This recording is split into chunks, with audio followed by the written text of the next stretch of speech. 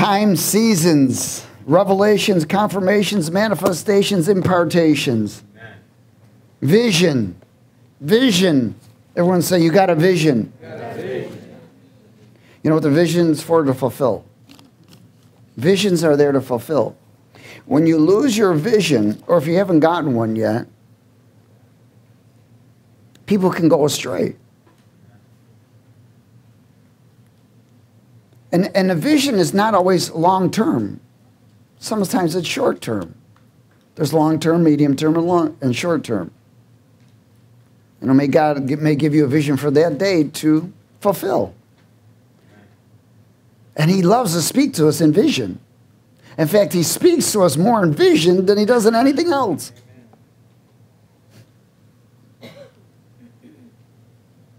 He gives us dreams, if you can remember them.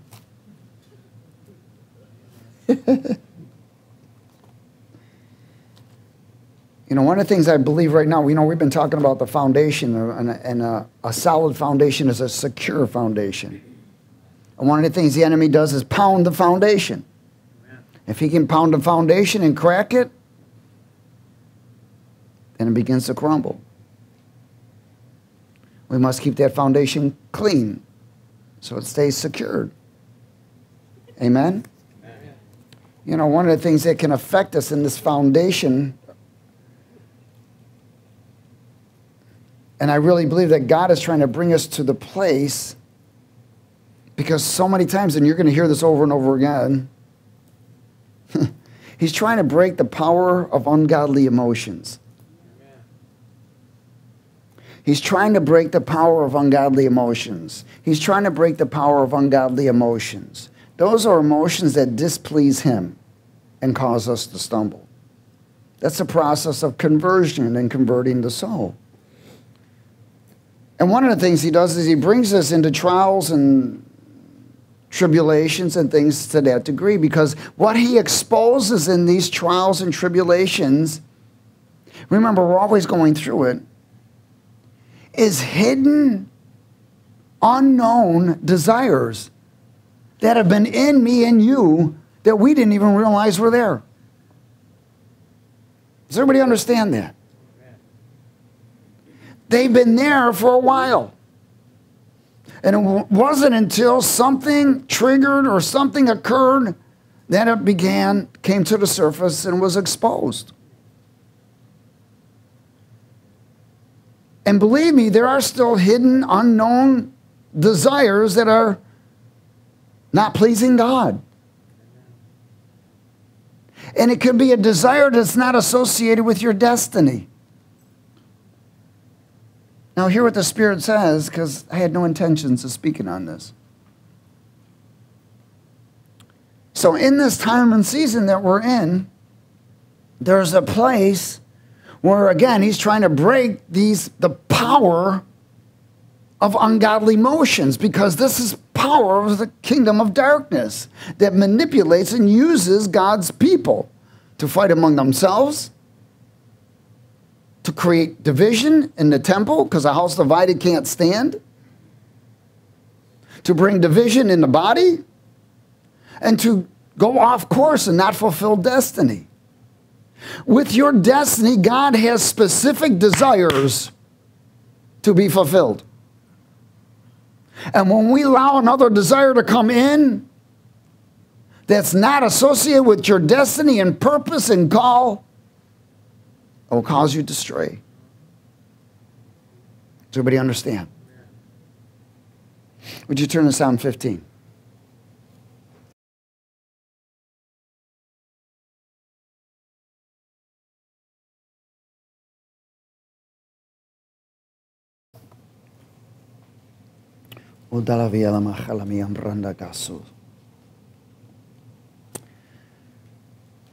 Thank you, Master breaking the power of ungodly emotions is not the teaching.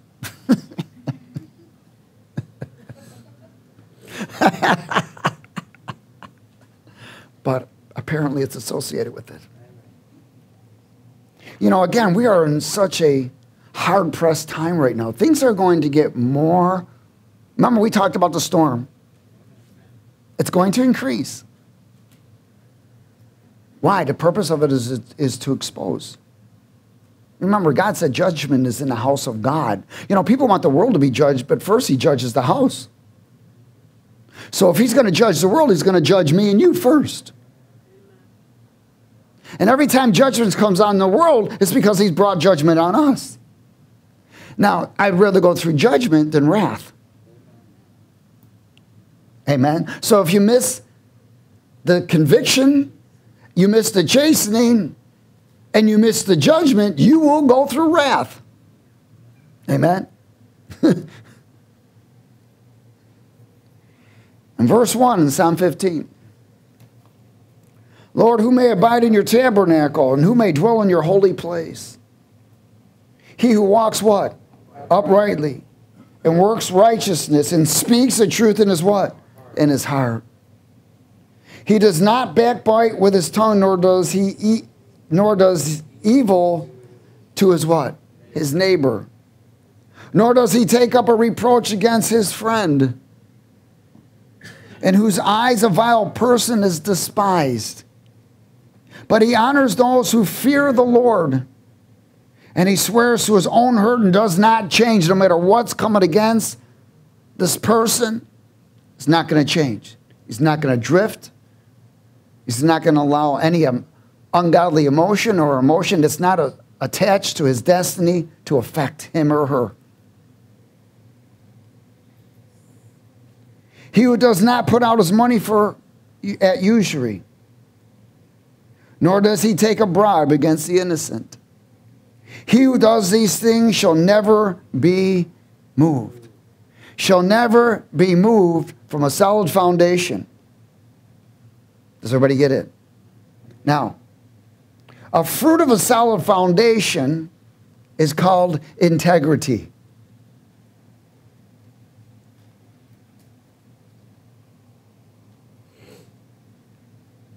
Every foundation contains integrity. There are three types of integrity.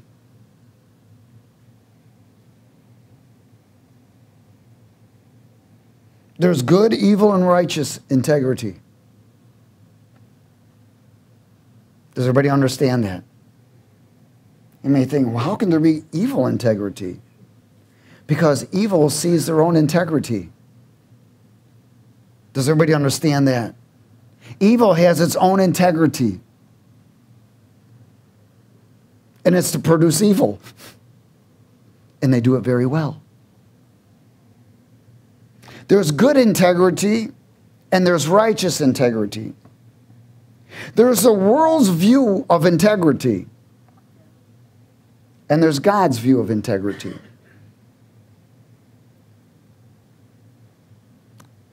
What is integrity? First of all, godly view of integrity is the quality of being honest.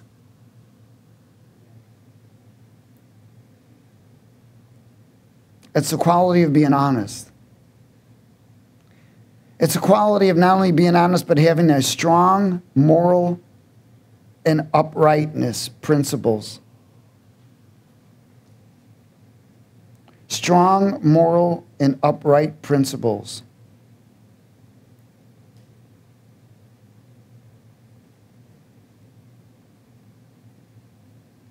It is the state of being whole and solid and undivided.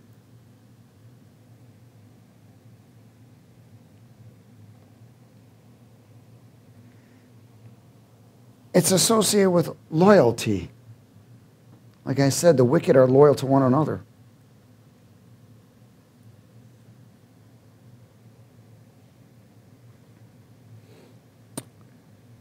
in 1 Corinthians chapter 9. This is called kingdom, integ- kingdom integrity. So we know that godly integrity is called kingdom integrity. His view is considered with kingdom.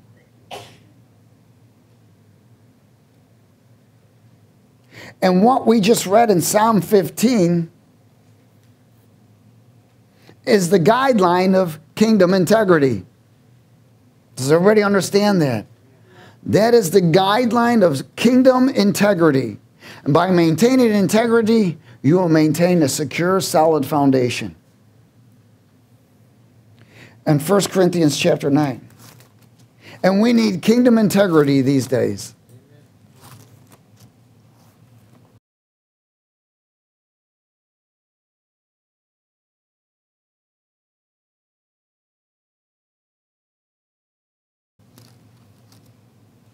First Corinthians 9:24.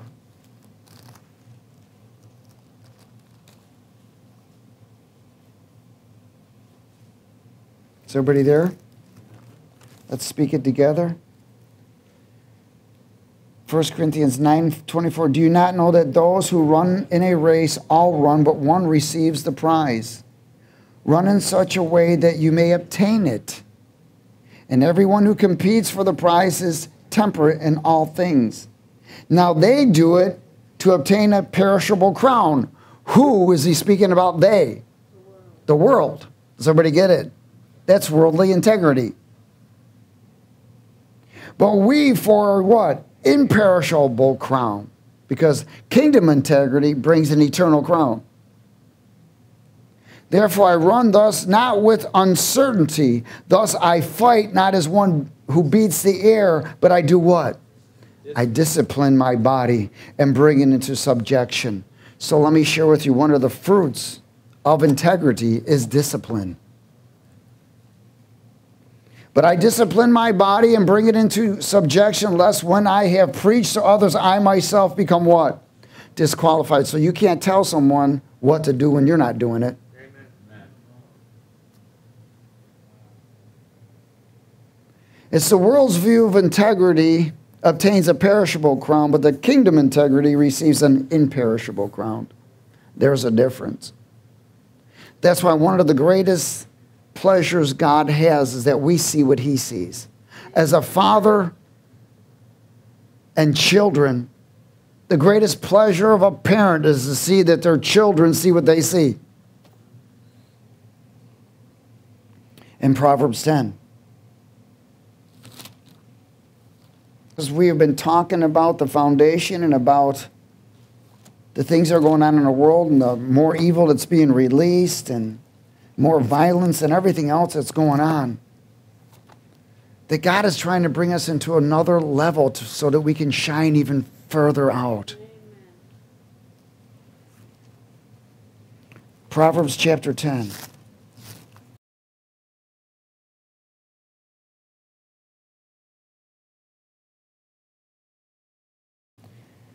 Hallelujah. Kingdom integrity. to maintain kingdom integrity, you've got to be breaking the power of ungodly emotions. Or you can't. You will go off course, follow another destiny. And again, we must be able to discern emotion that's supporting our destiny.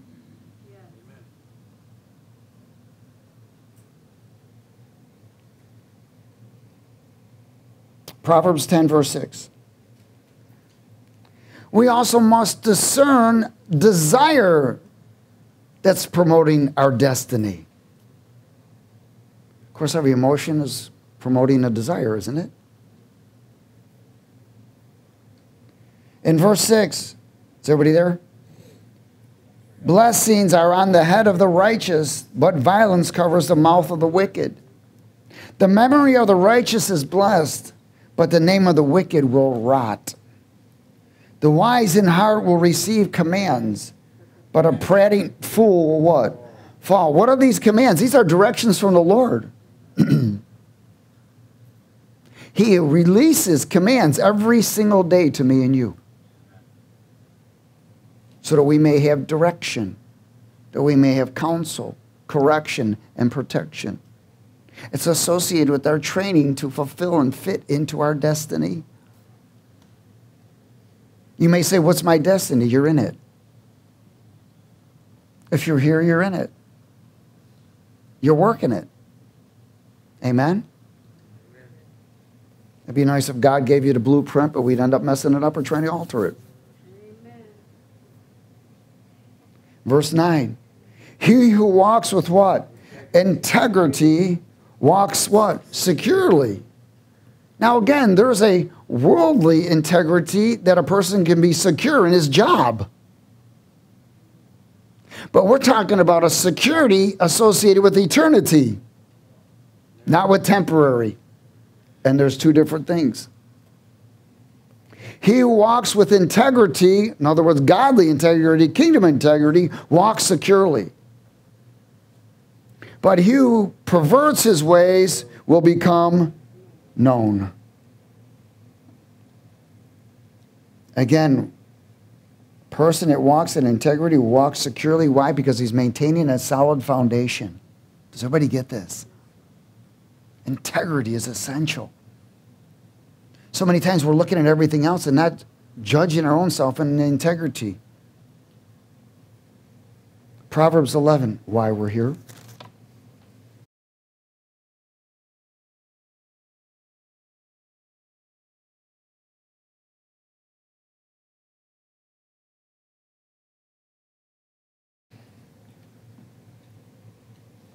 Proverbs 11, verse 1.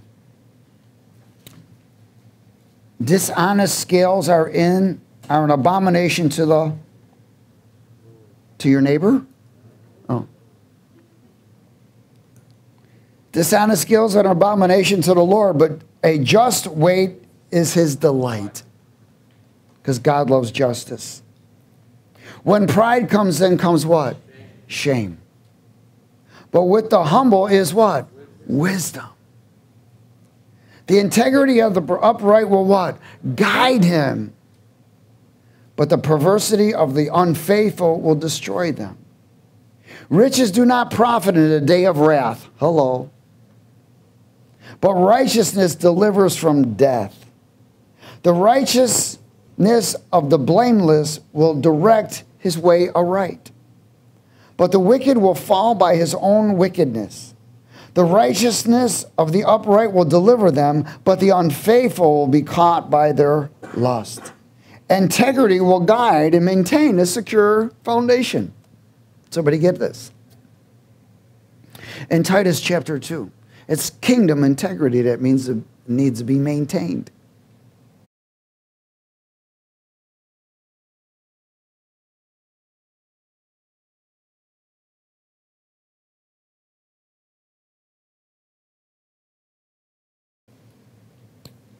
Is everybody there? We'll start at verse 1.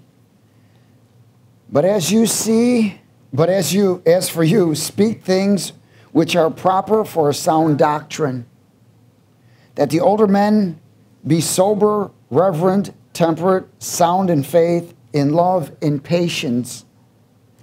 The older women likewise, that they be reverent in behavior, not slanders, not given to much wine. In fact, no wine, okay?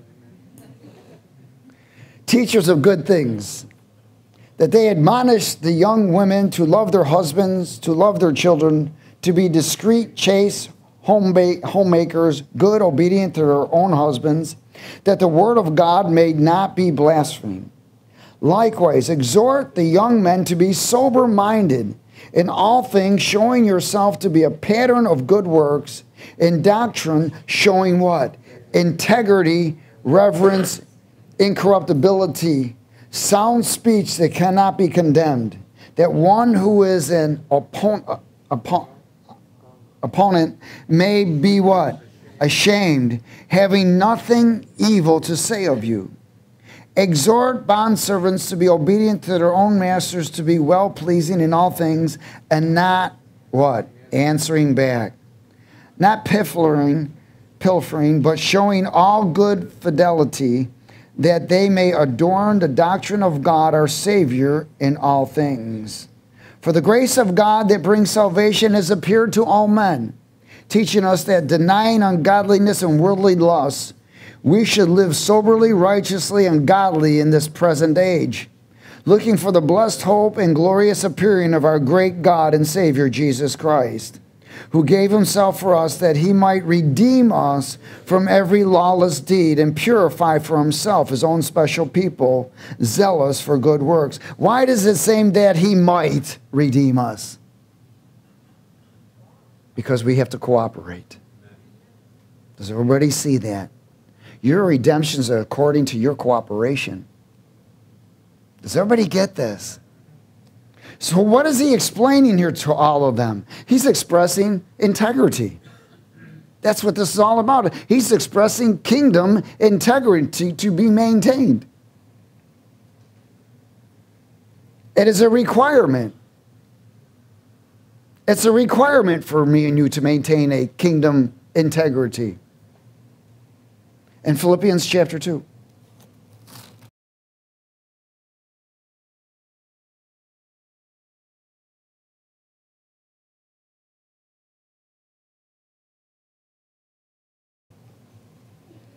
Philippians chapter 2 and verse 12. Kingdom integrity.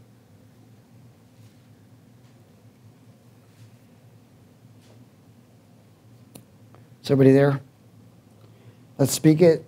Philippians 2:12 Therefore my beloved as you have always obeyed not as in my presence only but now much more in my absence work out your own salvation with what fear and troubling, it's called integrity For it is God who works in you both to will and to do his good pleasure. Do all things without what? Complaining and disputing, that you may be become blameless and harmless children of God, without fault in the midst of a crooked and perverse generation, among whom you shine as lights in the world. So, what he's trying to do is get our light to become larger and more brighter holding fast the word of life, so that I may rejoice in the day of Christ that I have not run in vain or labored in vain. Again, very powerful. Let's go a little further. Yes, and if I am being poured out as a drink offering on the sacrifice and service of your faith, I am glad and rejoice with you all. But I trust in the Lord Oh, for the same reason, you also be glad and rejoice with me. But I trust in the Lord Jesus to send Timothy to you shortly, that I also may be encouraged when I know your state of being or your integrity. For I have no one like minded who will sincerely care for your state of being. For all seek their own not the things which are of Christ, but you know his proven character, or his proven what? Integrity. That as a son with his father, he served with me in the gospel. Therefore, I hope to send him at once as soon as I see how it goes with me. But I trust in the Lord that I myself shall also come shortly. Again, what does he say? Work out your own salvation with fear and trembling, which is kingdom integrity, humility, honesty, producing a life of righteousness, which holds integrity of Christ and a secured foundation. Everybody get that? Yeah. okay. 1 Peter 5.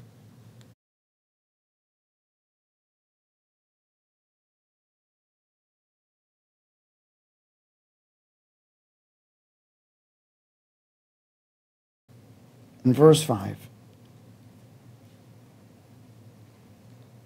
Work out your own salvation with the kingdom integrity and humility, honesty, producing a life of righteousness which holds the integrity of Christ and a secure foundation. Whoa, yes. Verse 5. Likewise, younger people submit. Hello. That's a part of integrity, submission. Likewise, you younger people, submit yourselves to your elders. Yes, all of you be submissive to one another and be clothed with humility. For God resists the proud and gives grace to the humble. Therefore, humble yourselves under the mighty hand of God, that he may exalt you in due time. Here's the kicker casting all of your care your hurts, your burdens, your offenses, your rejections, your bitterness, your mistakes, your successes, whatever it may be. Cast it on Him. Cast it on him. Exchange it, for he cares for you. That is the same thing where it says, Seek ye the kingdom of God and his righteousness, and all things will be added to you. Why? Because if you're seeking the kingdom of God first and his righteousness, the integrity of Christ is going to be manifested.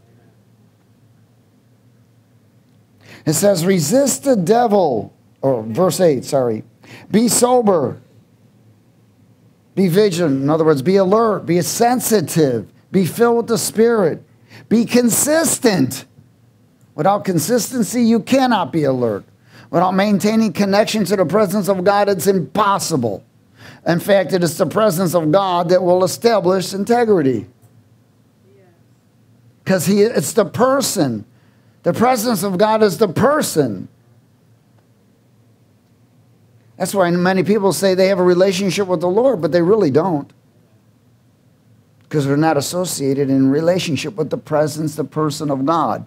They may have a relationship with the Word of God. They may have a relationship in their experiences of God.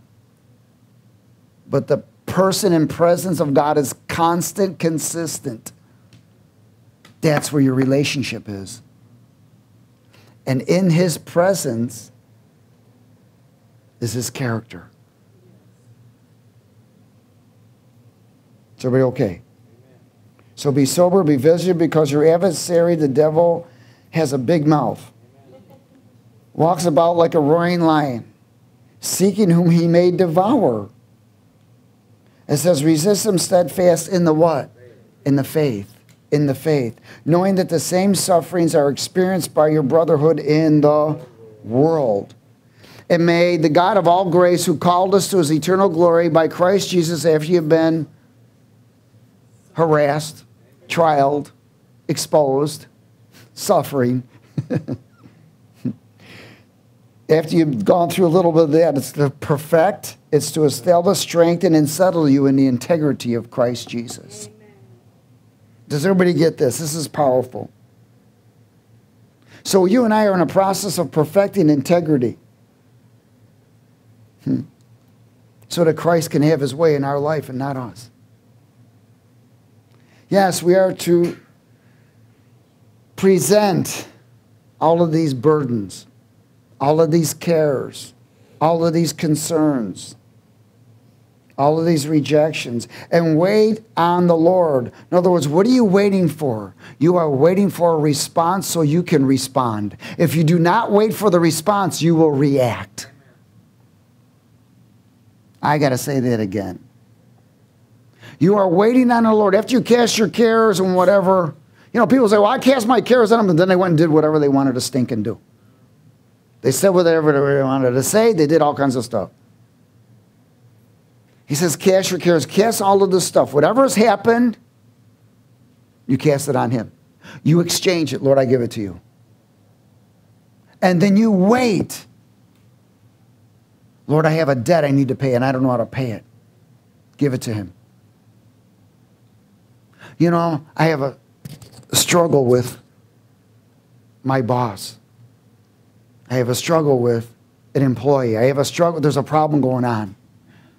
There's a personality clash here. Whatever it may be, you give it to the Lord. And then you ask Him, I need you to show me what to do. And you wait for the answer. Why? Because when He responds, so do you.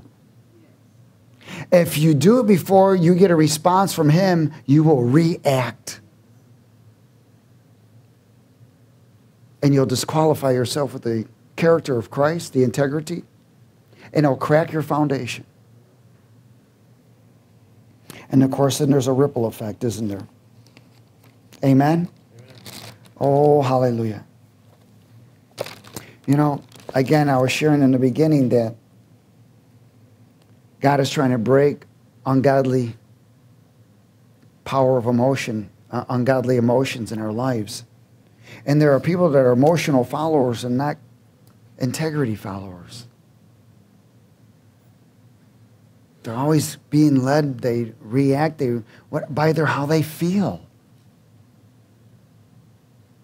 And until that is broken off individuals' lives, they, will, they can't fulfill destiny.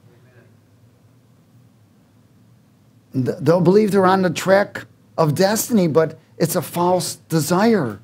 It's a false emotion. It's not associated with our destiny.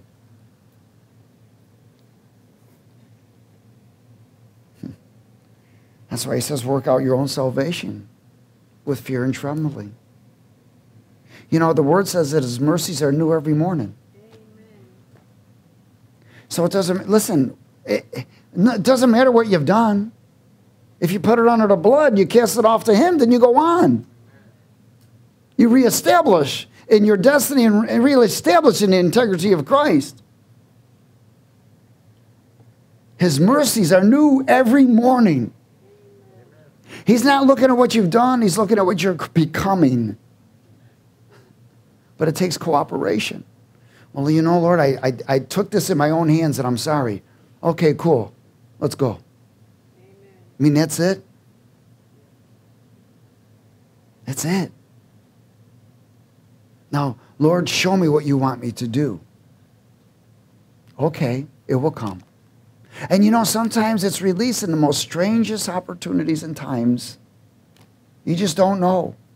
You could be in the shower. You could be walking down the street. You could be busy doing something, all of a sudden it's released. And it's like, whoa, okay, got it. It could be two days, three days, or two years. but he knows the time of something that has to be met and he'll bring you right to the edge. Hallelujah. 2 Timothy chapter 2.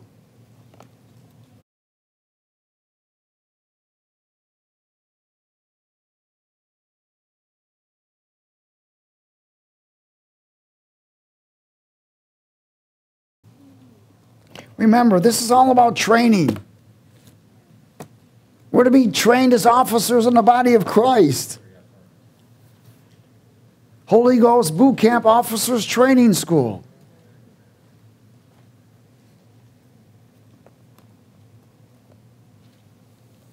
It's a crash course. we crash a lot. verse 1, somewhere. Where are you? 2 Timothy chapter 2, verse 1. You therefore, my son, be strong in the grace that is in Christ Jesus. And the things that you have heard from me among many witnesses, commit these to who? Faithful men. Is a faithful man a, a character of Christ's integrity? Yes. He's not talking about someone just faithful at work. He's talking about someone that's faithful and carrying the integrity of Christ. Kingdom integrity. And commit these to faithful men who will be able to what? Teach others also. No one engaged in warfare entangles himself with the affairs of this life, that he may please him who enlisted him as a what? Entanglements is of the world, according to the world's view of integrity. He said, Do not get entangled in the world's view of integrity. And, if, and also, if anyone competes in the athletics, he is not crowned unless he competes according to the rules. These are God's rules. The hardworking farmer must be first to partake of the crops. Consider what I say, and may the Lord give you understanding in all things. Vital, important. And in this, this entanglement, again, is associated with according to the world's view of integrity, not according to God's view. He says, Come out. We live a higher standard.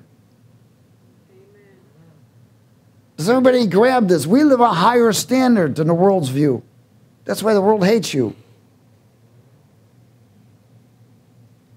Our standard is a military standard. Hmm. You know, we're to, we are just like military you know, even Marines, there's a certain character of Marines. They carry an integrity. It's established in their military and their, their code of honor. Does everybody get it? And, and, and, and their oath of integrity. It's the same way in the kingdom of God. There's a code of honor. There's an oath of integrity that has to be established. And it seems like it's just squandered. Like there's just no meaning to it. It's just a religious stinking act. And that's not what it's about. We must become more soldier like with a code of honor towards every single one and an oath of integrity to fulfill our destiny in unity. You know, if we all become together, there's one big sword. Amen. Even the Boy Scouts have a code of honor, well, they used to.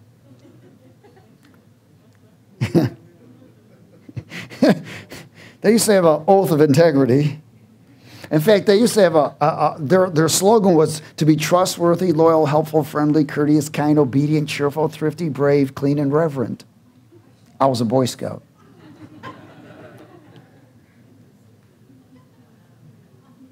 I still remember that. That stayed with me, even when I was a heathen. I feel the kick of the Lord. You remember that? Yeah, thou shalt not steal. Close your eyes.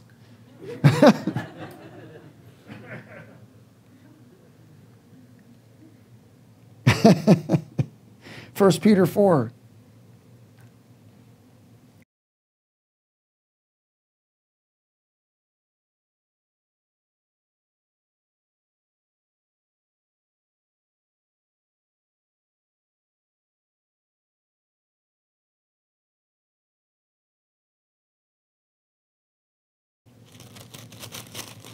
Verse 12.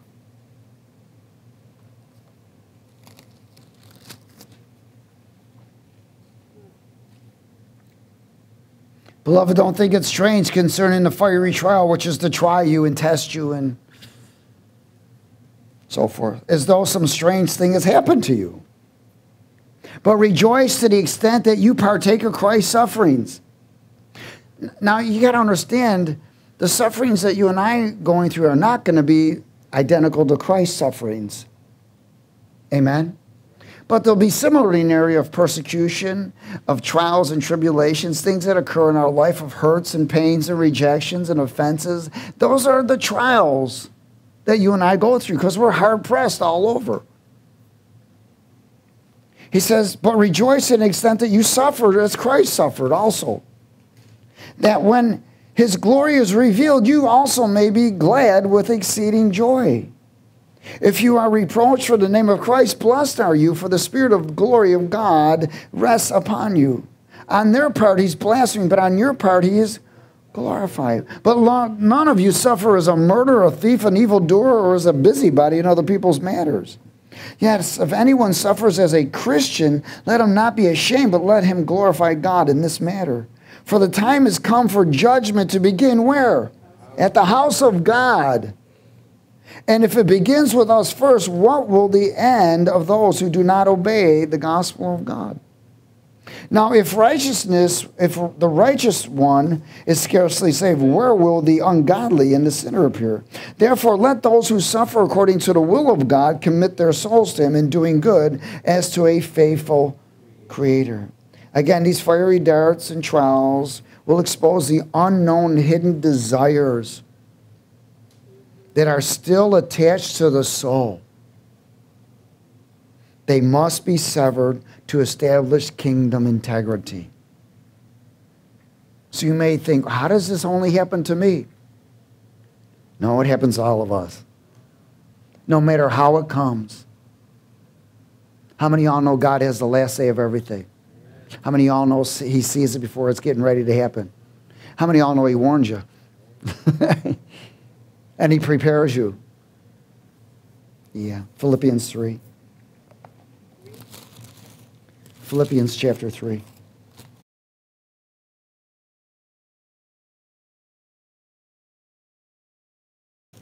Oh, happy day. yes when Jesus was.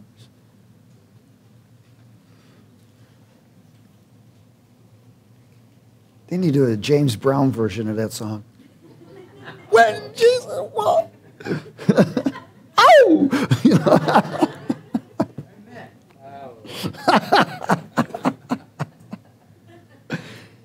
I feel good. because He washed my sins away. Philippians 3:17. Let's speak it. Brethren, join in my follow, in following my example and note those who walk as you have us for a pattern. For many walk, of whom I have told you often, and now tell you, even weeping, that they are enemies of the cross of Christ. Why? Because they live according to the worldly integrity. Whose end is destruction, whose God is their belly, and whose glory is their shame, who set their minds on earthly things. That's ungodly emotional attachments and desires according to the world's view of integrity. Remember, God's trying to break those things off. For our citizenship is in heaven, from which we also eagerly wait for the Savior, the Lord Jesus Christ, who will transform our lonely body that it may be conformed to his glorious body according to the working by which he is able to even subdue all things to himself setting our mind on worldly integrity, which the world will call good. Then again, there's the wicked integrity, which is evil integrity. In other words, they promote and they are loyal to their cause, but they certainly are not honest. They might be honest among themselves, but they lie like crazy. And then there's righteous integrity which is the kingdom integrity of Christ Jesus. We are married to the King. Amen. Amen. And we carry the honor and oath of integrity of the King. He is, I don't want to say dependent on us, but He is depending on me and you. Not that He can't, He doesn't need us, but He needs us. Does everybody get that? Figure that out later. Psalm 18. In other words, any one of us can be replaced at any moment.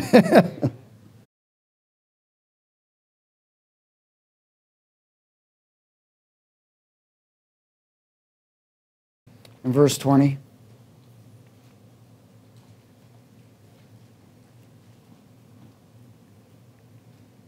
Psalm 18, verse 20. The Lord rewarded me according to my righteousness or according to my what?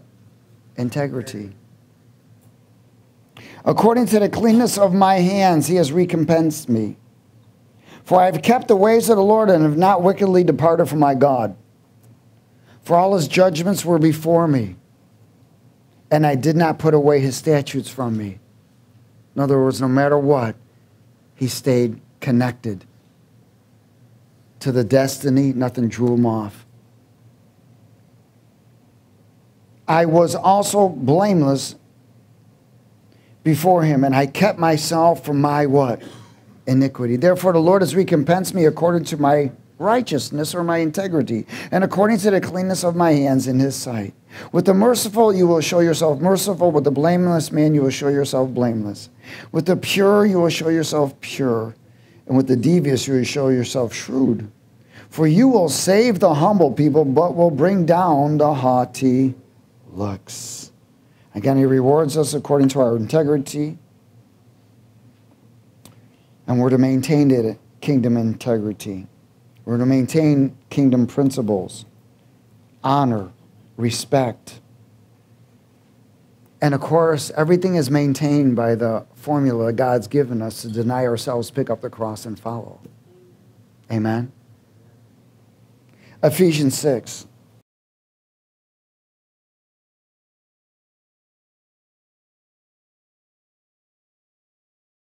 Ephesians 6, verse 10.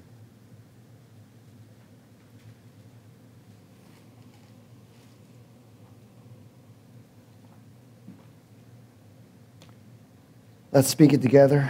Finally, my brethren, be what? Strong in the Lord and the power of his might. Put on the whole armor of God that you may be able to stand against the wiles of the devil, the trickery or the influences of the devil. For we do not wrestle against flesh and blood. It's amazing in how quickly individuals forget that. For we do not wrestle against flesh and blood, but against principalities, against powers, against the rulers of the darkness of this age, against spiritual hosts of wickedness in heavenly places. Therefore, take up the whole armor of God that you may be able to withstand in the evil day, and having done all to stand. Stand therefore, girding your waist with what? Truth. Having put on the breastplate of righteousness having shod your feet with the gospel, the preparation of the gospel of peace. Above all, taking the shield of faith. I want you to understand that something he says above all. Above all.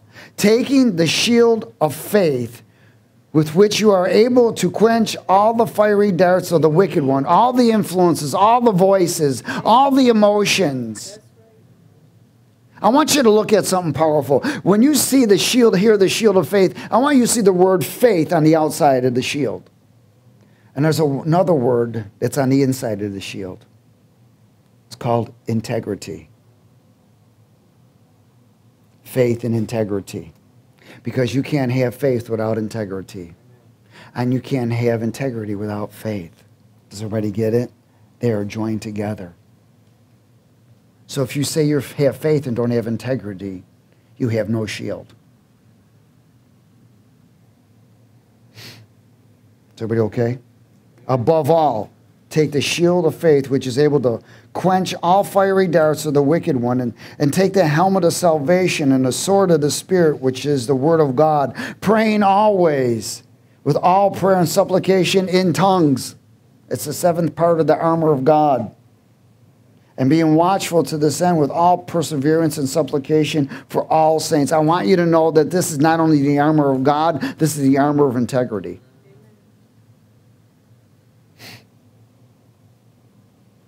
Again, behind the shield of faith is another word that says integrity.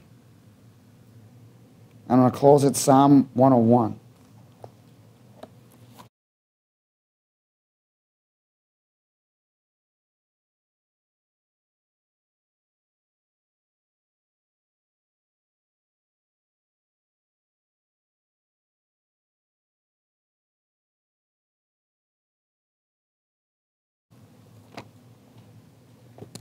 Psalm 101 was given to me, and the word that I heard was this is the commission of integrity.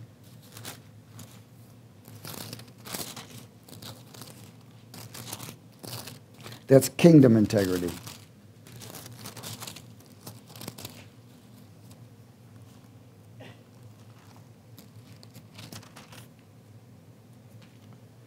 Psalm 101. Is everybody there? Let's speak it together. I will sing of mercy and justice. To you, O Lord, I will sing praises. I will behave wisely in a perfect way. Oh, when will you come to me? I will walk within my house, my temple, with a what? Perfect heart. I will set nothing wicked before my eyes. I hate the work of those who fall away. I shall not, it shall not cling to me. A perverse heart shall depart from me. I will not know wickedness. Whoever secretly slanders his neighbor, him I will destroy. The one who has a haughty look and proud heart, him I will not endure. My eye shall be on the faithful of the land. Those are with individuals that are what? Carry kingdom integrity. That they may dwell with me. He who walks in a perfect way, he shall serve me. He who works deceit shall not dwell within my house. He who tells lies shall not continue in my presence.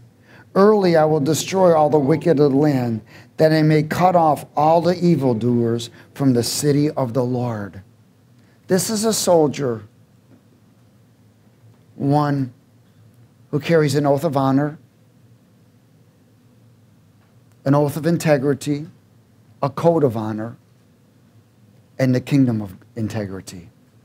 This is where we stand. We must stop looking at ourselves the way the world perceives us, the way your emotions perceive you, and the way the mirror perceives you. We must step out and become according to what God sees me and you. We are warriors, fearless, victorious. We are armed and dangerous. We are blessed and highly favored and we are more than conquerors. Amen. Father, we thank you for your word. We are honored and blessed. And we thank you for revelation and impartation this evening. And I pray a blessing over each and every one, and also that you'll seal your word in each and every one. I rebuke the enemy who would try and steal any of this word from us. And that it will so be imparted in every part of our members and being that it will grow and bear fruit and come to pass in every part of our character that the kingdom of integrity would be established in each and every one of us, full blown, in Jesus' name. And everybody said, Amen. amen. Hallelujah. Give somebody a hug and tell them you got it again.